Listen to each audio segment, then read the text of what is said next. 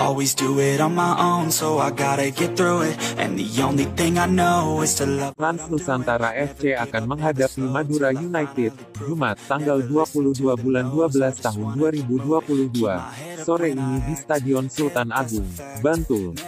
Menatap laga ini, pelatih Rans, Rahmat Darmawan berharap motivasi pemainnya sama seperti dua laga terakhir yang selalu tampil maksimal.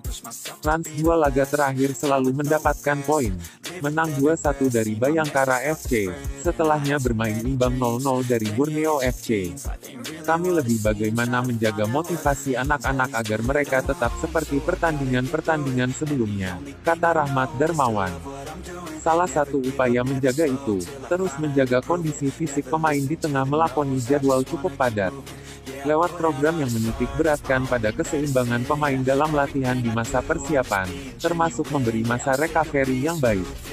Juga membuat pemain yang tidak main tidak terlalu overload, serta melakukan rotasi pemain.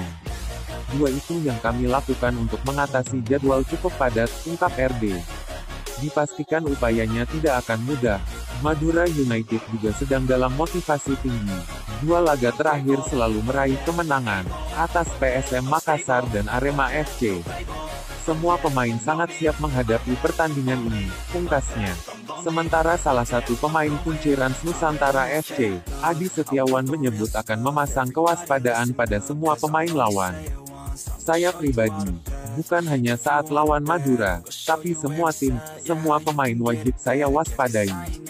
Apalagi kita tahu semua Madura saat ini memiliki pemain-pemain yang cukup bagus, makanya semua pemain wajib diwaspadai, tegasnya.